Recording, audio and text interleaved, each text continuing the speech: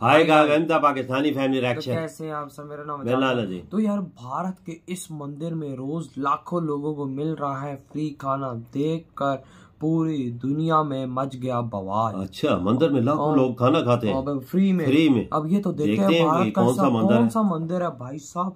एक तो है भाई गुरुद्वारा भारत हाँ, उसमें तो है। उसमें तो है लाखों लोग। लेकिन ये मंदिर कहाँ पर है भारत में? ऐसे जहाँ पर लाखों लोग खाना खाते तो वॉच करेंगे। तभी आइडिया लगेगा तो कौन ऑन करते स्टार्ट जय श्री राधे कृष्णा दोस्तों स्वागत है आपका एक और नए ब्लॉग में। जैसे कि आप देख रहे हैं कि मैं आपको यात्रा करवा रही हूँ वृंदावन धाम की और अब तक मैं आपको प्रीवियस वीडियोस में दर्शन करवा चुकी हूँ। बांके बिहारी जी मंदिर की यमुना घाट की स्कॉन टेंपल में होने वाले कीर्तन की और प्रेम मंदिर की। और आज के वीडियो में मैं आपको स्कॉन टेंपल में होने वाले जो मुफ़्त भोजन सेवा दी जाती हाँ। है। दोनों वक्त की या तीनों वक्त की वो आप वीडियो में अच्छा। आगे देखेंगे। तो आज की वीडियो में मैं आपको इसकी इन्फॉर्मेशन देने वाली हूँ और साथ ही साथ मैं आपको स्कॉन टेंपल के अंदर का टूर भी करवाऊँगी। तो चलिए शुरू करते हैं। राधे राधे दोस्तों।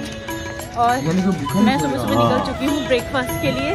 तो मैं सोच रही हूँ आज कौन जाके देखूँ कौन में क्या हिसाब है कैसे ब्रेकफास्ट वहाँ पे मिलता है अच्छा। तो चलो चलती हूँ वहीं पर। अच्छा सुबह का नाश्ता। वृंदावन के रमन रेती क्षेत्र में स्थित Shri Krishna Balram international society for Krishna consciousness के भक्तों के लिए एक विशेष महत्व रखता है। ये भव्य मंदिर स्कॉन के संस्थापक आचार्य श्रीला प्रभुपाद के पूर्ण सपने का प्रतिनिधित्व अच्छा। करता है जो उसी गाँव में दिव्य अच्छा। भाइयों कृष्ण और बलराम की पूजा के लिए अद्वितीय सुंदरता के मंदिर का निर्माण करना चाहते थे बहुत पुराना मंदिर है।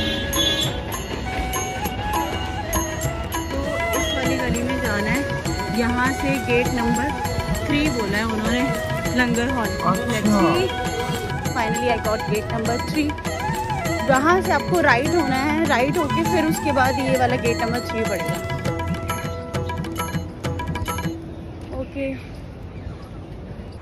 स्कॉन मंदिर का पूरा नाम international society for Krishna consciousness है। इसकी स्थापना श्रीला प्रभुपाद ने 1966 भगवान में न्यूयॉर्क में की थी।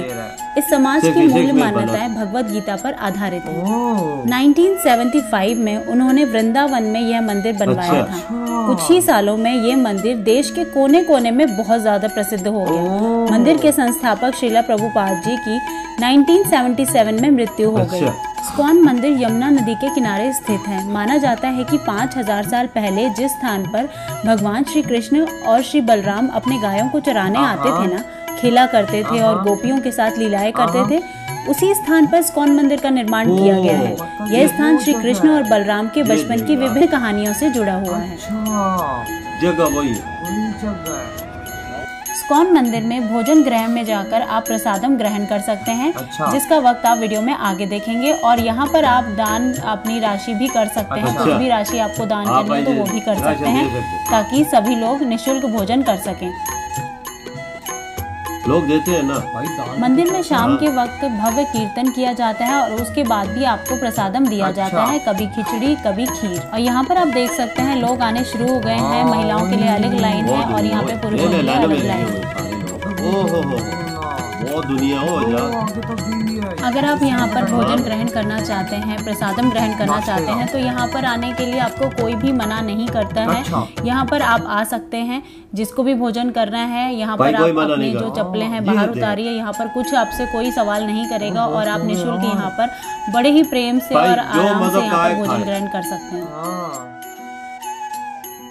हो हो प्लेटें कितनी साफ़ सुथरी हर चीज़। यहाँ पर आपको शुद्ध एवं सात्विक भोजन मिलता अच्छा। है।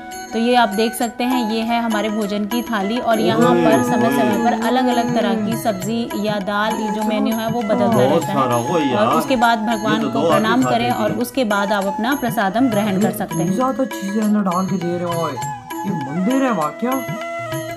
थाली में आप देख सकते हैं दाल चावल रोटी दो तरह की सब्ज़ी और अचार आपको मिलता है। हाँ, जो बात आपको मंदिर में लंगर में बैठकर खाने की है ना वो चीज़ आपको और कहीं नहीं मिल सकती। मंदिर का जो लंगर होता है ना, ये जो भोजन होता है ना इतना स्वादिष्ट होता है। पूरी तरह सात्विक होता है और उतना ही हाँ। बहुत ज़्यादा स्वादिष्ट होता है सच में। अच्छा।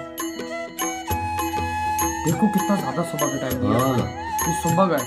लाओ ये दोपहर का कितना रश होगा? सुबह का कितना रश है? देखो यार। हज़ारों दुनिया बैठी है। इतनी राशि मैनेज किधर से कर रहे हैं यार। बस वजह ऊपर वाला ही फिर पूरी करता है देखो ना लोग गरीब टेबल भी साथ लगे हुए थे हाँ। एक तरतीब जो बूढ़े हैं ना हैं। हाँ। आराम से खाना खिलाते हैं। देखो ना यार कितने प्यार से खाना खिला रहे हो।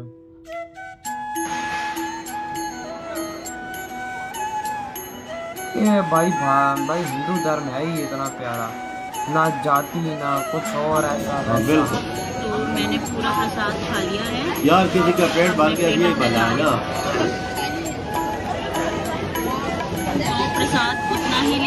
खा सके मतलब वेस्ट ना करे। ऐसा नहीं कि भर भर के थाली ले लो और फिर दो, कर। फेंकना नहीं है। जितना खाओ उतना ही लो। वेस्ट नहीं होना चाहिए क्योंकि वो प्रसाद है। अच्छा अपनी प्लेटें खुद हो गया। ये बहुत अच्छा सिस्टर बहुत अच्छा। बोझ भी नहीं पड़ता।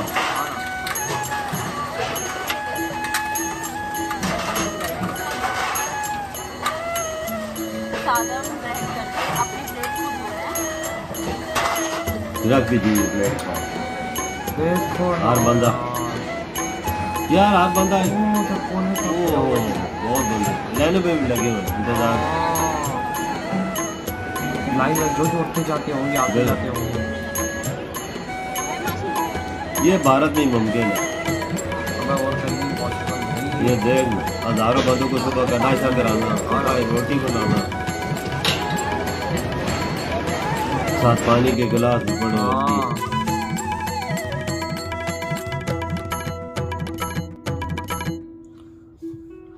वाह यार वाह। बहुत आला भाई। देखो ना यार किस तरह चहल पहल है। हाँ। अगर पाकिस्तान में भी ऐसे होते तो आज पाकिस्तानी भूखे ना मरते बिल्कुल। ये देखो बूढ़े भी आए हैं। देखो ना।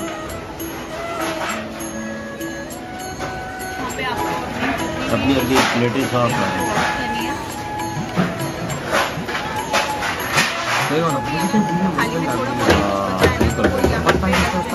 हाँ।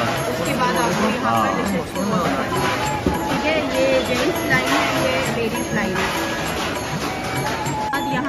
तो धर्म को आप नहीं ले देखा सकते हैं जाता। थाली ये में और इंसानियत को पर देखा और एक हाँ। या इस कॉर्नर से भी ले सकते हैं। तीन कॉर्नर में यहाँ से आपको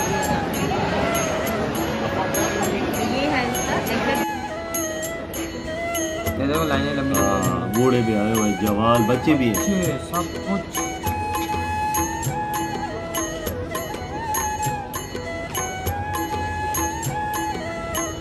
वाह यार वाह ये देखो ना यार भारत शान देखो हो यार। एक मंदिर में हज़ारों बंदे सुबह का नाश्ता भी कर एक टाइम पर। और भाई बाद में कितने लाइनों में लगे हुए हैं बाहर कितने इंतज़ार कर रहे हैं।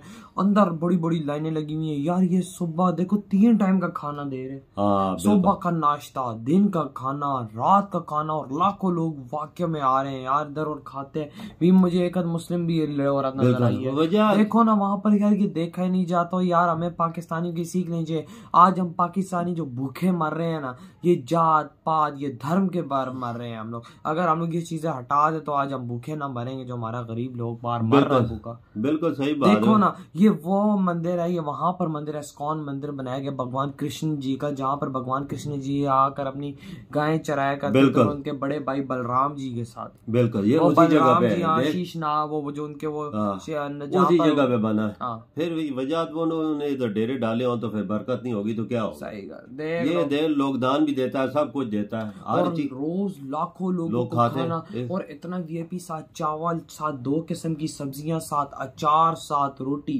अंदाज़ा लगाओ ये कौन पूरी कर रहा है? देखो ना। कोई डाल सकता है? भाई भगवान कृष्ण जी की यहाँ पर कृपा है तो भाई ये सब कुछ हो रहा है। और देखो आज भारत का हर गरीब को यहाँ पर खाना रोज लाखों लोगों को मिल रहा है। और यार देखो नॉर्मल भी सारे भक्त भी आते हैं वो लेकिन देखो गरीब भी कितना लोग आता है लाखों लोग तो गरीब ही आता है। बिल्कुल। वजह और उनका पेट भरता होगा तो यार दुआएँ मिलती होंगी अंदाज़ा लगाओ वहाँ पर क्या इस टाइम भारत में चल रहा है। और पाकिस्तान में एक आटे के लिए दो दो किलोमीटर दूर लाइने लगी बिल्कुल लगी हुई है वजह और वो भी और वो भी फ्री नहीं वो भी पैसों का वो भी नहीं मिलता। वो वो भी अपनी- जान गुनवा देते हैं तो मर जाते हैं और तो वहाँ पर देखो, देखो यार लगी हुई हैं खाने की। खानों की फ्री खाने की। इधर मुसलमान भी आते हैं हर मज़हब का इधर मज़हब की कोई यार यानी नहीं। आप मंदिर जाओगे तो आप कभी भूखे नहीं रह पाओगे। ये बात आज प्रूव हो गई है कि भाई आप जब भी हिंदुइज्म में जब भी भाई मंदिर में अगर आप जाते हो आप भूखा नहीं रहते ये देखा यार और तीन कोई- टाइम का और कोई मुझे सुबह का नाश्ता मिलता है दोपहर की रोटी मिलती है रात का खाना मिलता है और क्या चाहिए इंसान को? वो भी मुफ़्त। वो भी मुफ़्त। ये एक मुझे बात चीज़ पसंद है कि हर बंदा अपनी अपनी प्लेट साफ़ करके रख रहा है आराम से। औरतें ये- साथ मर्द देखो वहाँ पे देखो ना। कैसा फॉलो करते हैं हर चीज़? फॉलो कर रहे हैं। फिर ऐसी चीज़ काम चलता है ना। लोग भी फॉलो करते हैं तो मंदिर वाले भी फॉलो करते बाबा तो ऐसे अच्छे अच्छे खाने लोगों को फ्री खिला रहे हैं। मैं कहता हूँ छा गयो आप लोग यार। फिर भगवान वाले की कृपा इन पे ना हो तो क्या हो? सही का यार मैं कहता हूँ हिंदुइज्म जैसा धर्म यार क्या ही मैं उसकी बात करूँ। मैं खुद उसका टोटली फ़ैन हो चुका हूँ। इस चीज़ों को इन चीज़ों को ही देख देकर इधर ही बड़ा खत्म कर देता हूँ।